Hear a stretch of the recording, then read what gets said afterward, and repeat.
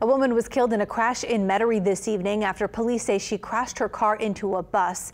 It happened just before 5 near Causeway and Veterans Boulevard. Officials tell us the woman rear-ended a Jefferson Transit bus. She was taken to the hospital where she died. Right now, they don't know what caused her to crash and will perform an autopsy. Six people were on the bus at the time. Two were injured, but only one needed treatment.